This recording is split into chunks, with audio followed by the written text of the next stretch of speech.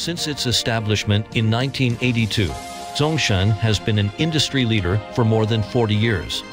We have more than 100 automated production lines, intelligent production base of more than 30,000 square meters. From the fine processing of spare parts to the rigorous testing of finished engines, continuous improvement in production and manufacturing. Each engine has been rigorously polished to provide a solid guarantee for quality. We have an office in Guangzhou Baiyun Motorcycle Part Market. We have a professional service team mainly engaged in motorcycle tricycle engines and various spare parts. We focus on off-road engines, specially designed for all-terrain challenges.